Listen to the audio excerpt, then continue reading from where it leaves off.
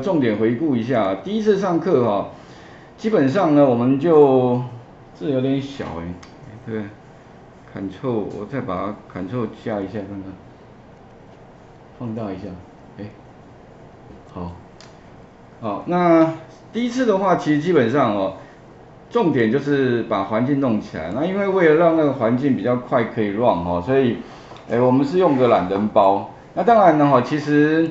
哎，写 Python 的环境其实非常多，包罗万一大堆，OK，至少十种以上，哈。哪一个方法比较简单？哈，其实后来我发现啊，懒人包好像是一个蛮好的选项，只是说这个懒人包哈，固定是要放低碟，那你低碟解压缩之后打开 Spider 有没有？它自动就环境就 OK 了，可以 run 了。好，这应该是目前比较简单的一个方法了。啊，你说其他还有没有更简单？应该有啦。好，像 Jupiter 那个就是一个。网页式的也 OK 啦，可是我是觉得，毕竟在网页上面跟在我们 local 哈，就是自己视窗环境，我觉得还是视窗感觉比较习惯一点。但是有的人习惯用 Jupiter 也 OK 啦。好，啊，另外的话还有就是说那个呃微软公司哈推的那个 Visual Studio 哈，它因为呃其实那个 ChatGPT 哈有点像它子公司 OpenAI 开发的，虽然它。好像是不是它也算金主了哈，最大的金主，所以它现在基本上把那个它的开发环境 Visual Studio 也直接嵌入那个 ChatGPT，也就是你将来可以怎么写，它有个 plugin 哈，直接就是你直接就可以在上面写程式，一边写一边把得到的程式码直接就拿过来用就好了，也就不用说你还要开呃一个网页，然后呢问完之后哈你要复制贴，不过我觉得好像还好啊，OK 啊至于。好不好用啊？我是觉得，当然这个趋势哈也回不去了，因为有这种 AI，而且它出来其实没有很久哈。好，所以哦这个地方的话，我们上一次懒人包部分好，然后另外的话开始写程式嘛，所以我们主要是了解哈，呃这个 Python 里面最常用的那个变数形态，好，啊形态里面还有转型问，因为其实程式最容易发生错误的，就是你的那个形态。好，这个选择错误，要不然就是说你呃把不同形态的资料要把它串在一起，那会发生一个错误。所以呢，理论上一定要记得转型，还记得吧？最常用到，其实变数里面最常用到的不外乎就是那个什么数字啊，数字有没有小数点？就是 float 浮点哦。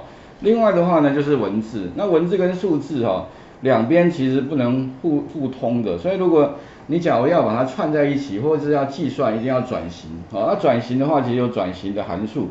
那之前有跟各位提到，另外的话，我们前面有写了一些像那个判断年龄的那个呃成年跟未成年的那个呃程式部分哦。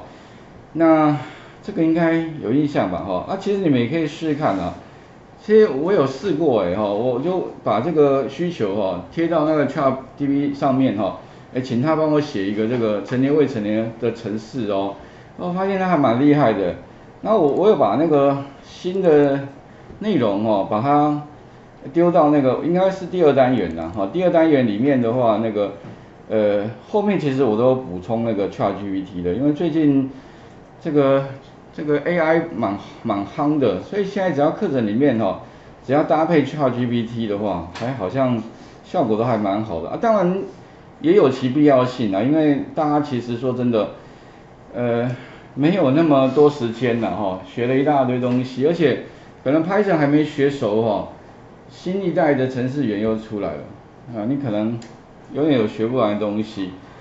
那所以啦，我觉得用 AI 来帮忙哈，我是觉得也是一个还蛮好的一个方法了哈。所以你可能还是要记得哈，可以试试看，像我就。呃，请那个什么，呃，请帮我写撰写一个 Python 的程序哈，然后内容是什么？有没有？其实就是什么呢？输入年龄之后哈，然后判断是否十八岁成年之之类的，啊，类似，反正这个叙述只要你也不要写的太模糊哦。我想应该 ChatGPT，我觉得他都还蛮聪明的，而且我觉得他的。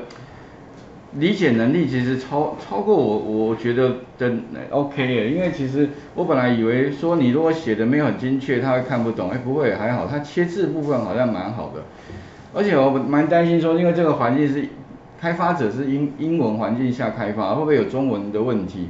后来发现没有哎，而且他写出来程式哦，基本上呢，就是符合我要的啦。但是他写的方法哦，就是他会多写一个 man 啊，就是他把它写成方选啊。哦，啊，其实你可以把方选改回来就好了，上面那个 df 拿掉，下面那个 man 拿掉，那其实就是我们要的程式嘛。OK 哈，所以他写的其实大部分都是我们要的啦，只是少部分哈，你把它去掉就 OK 了，没有问题哈。所以可用性我觉得还蛮 OK 的。好，然后甚至你可以再把那个程式改一下，我们之前就是直接输入年龄嘛哈。那如果后底下我还会改改，我想说，那你帮我输入比较年，你输入生日好了。那生日还有一个格式要求，哎，输入生日之后呢，哎，你帮我做判断，哎，他还真的帮你写出来了。啊，底下的话他还引用一个那个叫 daytime 的一个模组啊的一个方法哈，就 date 里面的 date date 模组里面的那个 date 的一个一个方选哈，然后呢去判断啊，当然输入你就输入。你的西元年一杠啊月一杠日，OK，它其实也会帮你把那个结果，诶给给呈现出来，我觉得好像还蛮 OK 的。啊，但是一样的问题，它会有个 main，这个 main 其实你可以把它拿掉了，其实就可以变成我们之前的那种方式哦，就是基本上我看了一下，我是觉得还蛮 OK 的啦，所以这个呃 ChatGPT 部分哦，如果理论应该。大家都有用的习惯吧？没有，有吗？有用的举一下手。啊，没有。哎，这这样很，应该有吧？对啊，啊，其实还蛮好用的，我觉得啦。如果以那个写程式这一块来看的话，哎，其实是真的可以可以很好参考。我刚那另外其实 Google 也出了一个聊天机器人啊，它叫那个。Bird 哈，哎，就是哎啊 Bard 哈，B A R D 了哈，Google Bard。那这个 Bard 哈，其实它类似这样 Charge，可是我发现哦，Bard 它写程式能力非常差。你同样的问题丢给那个 Google Bard，哎，他就是跟你讲说这个他没办法，他看不懂。天哪，我觉得那因为聊天机器人各有所长啦，你不可能说你什么都包山包海。那你会想说，那为什么 ChatGPT 很强？其实我我我在猜想啊，应该是背后微软的贡献是非常，因为微软把那个一个很大的城市库哦，叫 GitHub，有没有？本来是 free 的嘛，免费的，他把它收并购了，然后把它商业化，当然它有 free 的部分，哎，也有商业化的部分。那里面的话，其实就是所有的。工程师一律都会上传到 GitHub 的城市，哎，所以哦，它等于是有一个很大的一个城市库。那这个的话，目前应该 Google 比较欠缺的，因为最早我发现 GitHub 突然微软说把它并购，我就觉得奇怪，为什么微软要并购 GitHub？我就觉得这，因为 GitHub 是属于呃算是什么免免费软体了，它是一个呃跟那个那个微软的商业商用软体的走向完全不不搭，但是他为什么要做这一步？而且好像是很多年前做这一步，我就在想说，其实微软就开始布局了。哦，他其实哈，至少十年前就开始在经营这个这个呃 ChatGPT 的，但是我们现在看到是结果了，所以他其实还蛮厉害的哈，因为这跟他们那个微软的新的那个那个执行长，我觉得蛮有关系，因为现在。不管是微软的执行长，或者是 Google 的执行长，现在都印度人。哦，哎，印度人在这方面真的太，真的非常有天分呢。哦，在城市城市部分哦。好，那另外的话呢，在第一次上课啦，还有那个计算 BMI，那我其实也用 ChatGPT 哈，也问他一下，请你帮我写，哎，这样 OK 哎，没有问题，而且写的城市的架构基本上跟我写的好像没有差太多了。好，所以你你们如果要这个在 ChatGPT 里面丢问题的话，哈，当然第一个啦，你就是，诶，如果要找 ChatGPT 嘛，你就打 Google 打一个 GPT 就好了嘛，GPT 嘛，然后它会到 OpenAI 的这个网站嘛，有没有？然后你像我之前 log 就是诶 sign in 的时候哈，我是用那个这边进进来，这画面太小了。底下的话有一个，这对吗？这个 ChatGPT 的首页，那里面的话呢，哈，你们可以找到那个 Login 的那个登录的，哦，这边有个 Login，OK，哈，应该因为我的画面可能因为解析的关系，理论上你们应该在上面可以看到 Login。那 Login 的话呢，哈，诶，之前我是用 Hotmail，一啊，就是用那个 Microsoft 看，我发现它每次都要叫我登录，或者 Email 登录很麻烦，所以后来我干脆用那个用 Google，就是你先登录 Google 之后，然后你就直接用这个选项，哈。那它就直接可以 login 进来了，那也会把所有我之前做过的，哎，那我直接选那个 Open AI 里面的那个 Chat GPT 啊的聊天机器人，那点进去之后的话呢，哈，你就可以在那个右这个，哎，这它有一些相关的讯息啊，那你可以看到那个左上角这边就有一个 New New Chat，你就可以去输入你一些问题在那个 message 里面。它就可以送给他之后，他就答案给你了。哎，这不妨可以玩玩看，我觉得这可玩性真的还蛮蛮大的。因为刚开始会觉得它是一个玩具，哎，就没想到这个玩具还颇厉害的。那我很多城市我基本上我不用特别特别去去找嘛哈，因为它其实基本上就会提供给你蛮大一个部分，很值得的，就是很好的一个参考了哈。但是它的缺最大的缺点是，第一个我发现它城市可能会有 bug，可能呐，OK，也就是我执行，但它跑完之后哈，它会直接可以可以让我们把那个城市有没有，像植植树这一题也有了哈，其实你可以直接这边有个 copy code 哈，它直接可以让你 copy，或者上啊之前我们做过的，它都会做一个 log 做一个记录哦，所以其实我之前下过的问题。这边都有，啊，像之前的，呃，这三角形，这这个这个我们有讲过，还有上面的，呃，回圈嘛，哈，这个是回圈。那像 BMI 这一题也是一样。那我们如果要复制那个程式码，就 copy code 就可以了。它那个右上角还蛮贴心的哈。那其而且我发现哦，像我那个 BMI 的部分，因为 BMI 可能比较嗯好理解，所以我直接我没有特别解释哎。我只有请他说帮我写一个 Python 程式，内容为输入身高与体重后判断 BMI 就结束了。因为我想试试看啊，我如果没有特别解释 BMI，他会不会理解？哎，没想到他很聪明，他还自己可能自己去找找过 BMI 是什么东西，然后就直接帮我写完程式了。哎，程式底下这边就有了，有没有身高体重？哎，请输入身高，请输入体重，然后啊，甚至。他的那个回这个逻辑判断有没有？他这边还有判断，呃，总共有过轻、正常、呃过重嘛？有没有？肥胖有有三种，哎，这个好像之前跟我们写的基本上一几乎一模一样。那底下 print 的话也是 format 啦，OK，那只是说它这个 format 的写法是更精简的 format，它把 format 把它摆在前面一个小一个小写 f 就是 format 格式化，哎，更简更简单，好 OK。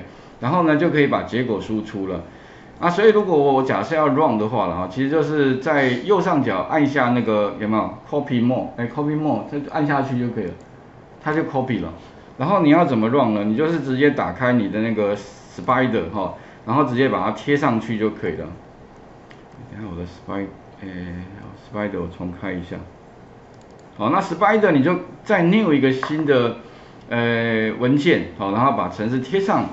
那再 run，哎，理论上我发现还蛮 OK 的，比想象中哦，啊来的更更好一些了啊，但是不是完完全没问题哦，它问题其实也不少哦，像是他写出来的就一定是方选，可是跟我们写之前写的不一样，因为它开开头是 DEF，各位有没有应该有有印象吧哈？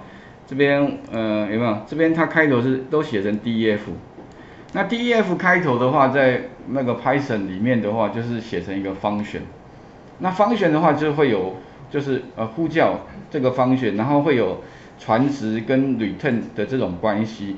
可是你说，呃，我不要写那么复杂，我只是想要写一个简单的程式，我干嘛写一个方选？哦啊，当然你要改，其实你就，但你可能要有这个改的能力啦。我觉得第一个，所以你第一个一定还是要具备有修改。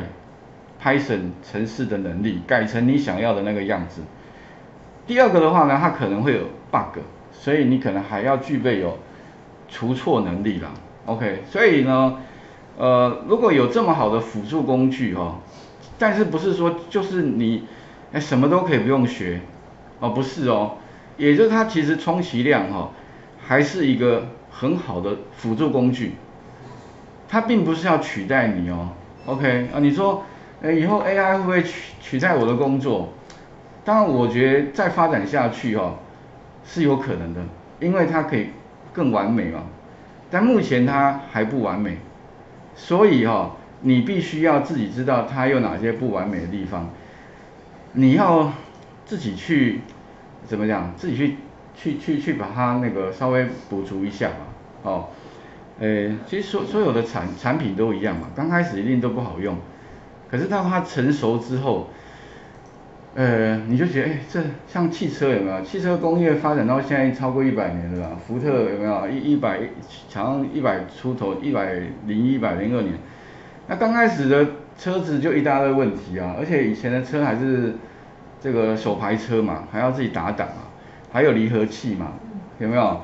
那现在车其实甚至还有自动驾驶嘞，对不对？那所以啊，呃，AI 如果哈再给他一些时间，哦。以后恐怕哈，哎，很多地方就会更加完善。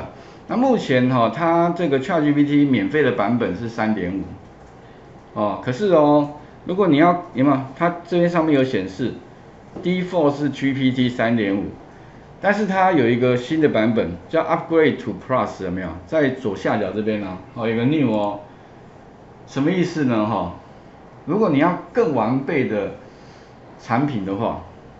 它说免费的哦，就是左边的哦。那如果你要更厉害的哦，OK，就是呃 嗯比较没有问题的哦，那就是哈要付这个钱呐，叫 US dollar 哈，现在应该三十二了吧哈，大概要一个月要六百四吧，每个一个曼斯一一个月每个月都要给二十二十美金呐，OK，啊当然如果你的用需求蛮大的，你会觉得值得啊，因为这个跟你工作很有关系啊，它可以帮你做很多的设计的话，提供给你很多的 idea，你通通都可以省掉很多麻烦。六百四算算起来，我觉得是划算的。哦，但是如果假设你没用那么多啦，或者你刚开始也许用三点五就 OK 了。哦，好，这个提供给各位参考啦。那当然我，嗯，是机器人。对，这是聊天机器人。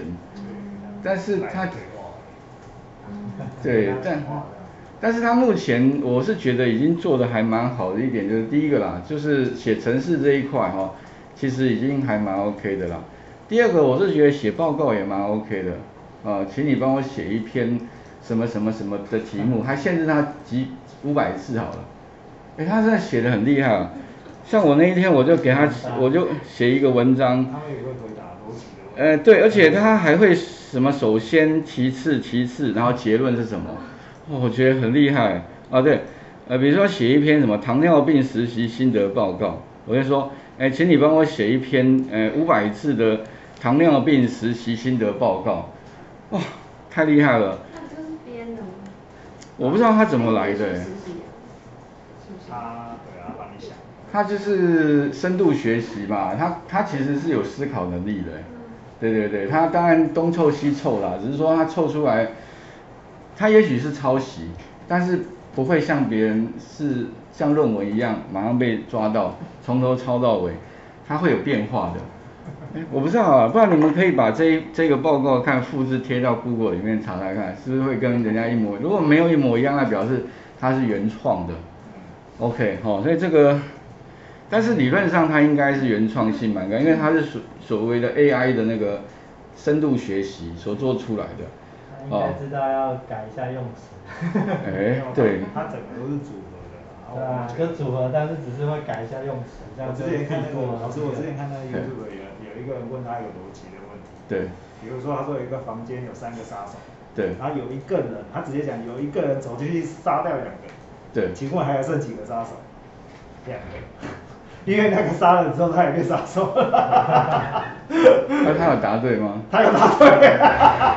他不是直接单纯写三减二脑筋急转他会说还剩两个杀手在里面。所以其实那个 Chat GPT 其实是真真的是有深层的思考啦，而且他不是说，像之前还有人说，哇，会不会有可能是在背后有很多工程呃不工读生哦、每天帮你回答问题 哪那么多人？哪那么对，所以也不可能那么快啊，而且他是马上给你一个回应的吧，OK，所以其实说真的不太可能做这种哈、那他目前当然已经算是超过我们能想象，因为他已经算做的还蛮好的。我刚开始以为是玩具嘛，哎，突然给我一个，哎，真的还蛮 OK 的一个答案的时候，我会觉得吓一跳，而且他最重要是，他才刚出来而已。OK，就已经马上有这种有点是呃爆炸性的一个创新革命了，所以它这个影响应该是有点像是十几年前网络兴起那年代的那种一个爆炸性，一个算是破坏性创新吧，哦，然后让大家啊聚精，所以那时候不是大家觉得只要网络通通是好东西，所以只要网络公司通通都都一大堆金主愿意给钱给钱，那那时候当然有一个泡沫啦，就是那个网络泡沫化嘛。那原因也是一样，所以现在 AI 不也是一样，股票只要跟 AI 有关的，莫名其妙就涨了一大堆，有没有？涨得莫名其妙，那也是可以理解啦，因为大家对这个其实有一个期待啦。OK，那所以也许啦哈，再过十几年之后 AI，哇，那应该不得了了。实际应用出来。就跟我们十几年看十几年前的网络时代一样啊，我十几年前你会发现那时候还有人问我上课的时候说老师我到底要不要学网络？嗯，对，这这这，当然你现在从 学什么？从，当然你如果从现在的角度看过去，你会觉得这问题还要问吗？对不对？可是问题当下，就像现在我问你说要不要学 AI 一样嘛，你会觉得，哎，这东西到底跟我没有关系？OK，可是渐渐你会发现，哇，身边到处充斥跟 AI 有关的那个话题的时候，你会觉得，哎，这如果我没有跟进，那我不就被被抛在脑后，被抛在后面的，你就变成说，就像现在不会用网络的人，那他真的，呃，对，很多东西非常不方便嘛。像老人家，你说真的，他不会用网络，不会，甚至不用手机，对，然后他就会非常到处就很很不方便。但会的话很简单嘛，就不会闹出一些很好笑的一些使用上面的问题啦，好、那当然，你回头看啊，那网络时代刚兴起的时候啊，那个硬体设备，我那一天看看一些电影哦，那个还有像数据机拨接那个年代啊，我还听到那个很熟悉的声音啊，拨接那个声音，哒哒哒哒，然后播上去了，OK，然后觉得啊，好怀念那个声音，那个数据，如果你们你们有那个年纪的时候啦，哦，我没听过啊。你没听过吗？这个你听我说没听哦过。拨号，哎呀，糟数据糕了那个什么，哎，某电对对对，某电 那时候还是什么十四点四 K 啊，有没有 二十八点八 K？那个是 K 不是 MB 哦，是 K 哦。对，然后呃，那可是你会发现那时候还也是用的很开心啊，每天晚上睡觉还是挂网嘛。整天都在骂。可是问题你现在流量变大之后啊，哎，反而好像你就不用等，好像变无聊了。因为以前很多时候都在等，对，那现在因为不用等，反而好像，但是可能又改变一个，所以像我昨天看那个好莱坞可能快倒了，为什么？因为被串流媒体 Netflix 有没有？几乎因为他对方推他赚，但是他不分润给那个好莱坞的拍片的。投资拍啊。对，所以变成说这种游戏规则变成说他说了算了，他等于整个颠覆了。所以你说网网络那以后十年之后 AI 到底会有什么改变不知道，但是可想而知，它基本上就是破坏性的一个创新，然后就是一个革命。以前不能这样做的，哎，突然有它之后，它改变了游戏规则，那个产业变成说，以前就是那一家独大，好像第四台那时候，现在谁才看第四台啊？对，算是有老人家了哈。You YouTube 或者是像那个电视一样嘛，现在电视都有遥控器嘛，现在遥控，你只要最近买的电视一定都是那个 Android TV 嘛，那上面都有什么按钮都有嘛，像我们家也每天现在已经完全不知道什么叫第四台了，第四台已经变成一个历史名词了。对，那所以未来这个发展其实，呃，是很难想象的。但是如果我们从现在看过去，再回推回回到未未来的时候，其实你会发现，这些东东西的应用面哦，我觉得就是可能没有那么单调，不是只是 focus 在技术了。我觉得很多东西可以在思考哈。好，哦，当然我不知道这个 ChatGPT 对医疗上面是不是很厉害。如果有的话，就是你可以问问他一些问题，然后他可以帮你解决，那就太厉害了。但是目前聊天机器人绝对不是这个万能的，它可能某部分很强，但是某部分可能其实没有那么强。那当然我不知道了。不过目前我看到的那个部分哦，城市部分其实是还蛮 OK 的，好，蛮值得去去去使用。有没有人去探讨说它到底怎么做到的？因为其实很多大公司都有这个。我丢一大堆东西进去圈你，但是它就是没有办法像 ChatGPT 它已经相对精准的回答你的东西。对。那像 Google 啊什么，你丢进去它就回答一堆 就网络讯息出来。对啊，就是说没有，而且甚至他没办法回答，像那个 Google 吧，那我在猜啦。嗯，那是全那 OpenAI 的功号。对啊对啊。当然啦，这个就是他的他赚钱的商机密了。那个立的不是被 Apple 挖哦，那之前好像立的 OpenAI 那个那个人最近还被 Apple 挖挖挖进反正他现在金童了，他等于就太自头。他真的是金。但是我自己猜啦，因为我看到了，虽然大家都 OpenAI，但实际上我看到是微软。对啊。因为其实微软才是最后最大的赢武者啦，因为没有微软这么大的公司。绝对不可能像 OpenAI 这么小，对，因为它等于说真的说出来，它就几个人公司啦，对，而且刚开始他们主要目的其实非盈利哦，像那个那个特斯拉那个老板，他也也在 Max 也在里面嘛，那后来他离开，他刚开始的诉求是我们要发展 AI，对他其实不太想要商业，后来他其实商业化，我在猜其实最大。背后的除了金主啊，没有微软说他好像至少贡献了一亿美，其实我觉得不不止啦。而且我刚刚有提到那个哈，为什么城市可以写这么？背后一定要有非常大城市资料库。那网络上目前最大的城市资料库就 GitHub 吧。一哎叫 GitHub，就是如果你们有写城市的人会比较知道，如果没写叫做 Git 哈，Hub 就是 Hub，你们可以搜寻一下。也就是说，所有的那个工程师写完程式哦，都一定会备份一份到那个 GitHub 上面，而且上面其实还有一很多的说明文件，还有写什么都非常详细。对，然后所以这个应该是有关联性的哈。然后啊这边的话，哎对，特别要延伸哦，因为这个也刚好是最近我这个新的课程啊，因为我我课程里面也有要包包含那个，哎就是。ChatGPT 的部分，所以顺便跟各位分享一下这个部分哈。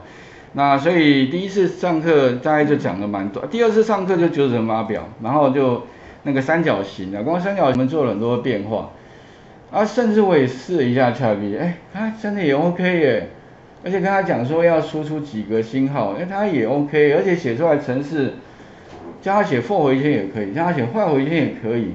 其实如果你们要看啊，我云端白板上面都有补充。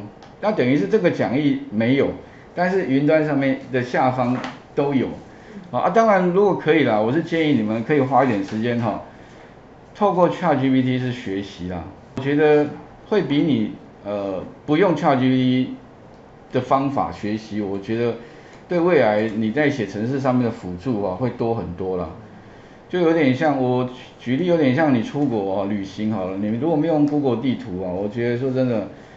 有没有 Google Map 不好？应该如果你有 Google Map，说真的，如果像日本哈，日本比较文明一点的国家哈，都没有问题。甚至它的公车啦，呃，这个新干线讲了，这样它上面其实都有，而且本身还有罗盘，有没有？你还不怕地下室还迷路？而且还有街景，如果你不知道，你可以先看过嘛。所以像我暑假也有去日本一趟。哦，啊，现在感觉好像真的只要过，根本完全不用问人呐。有有有有有那个学生说，老师你你去你日语好不好？我说我根本完全没有不需要跟日本人对话嘛。上面都有了嘛，我干嘛我？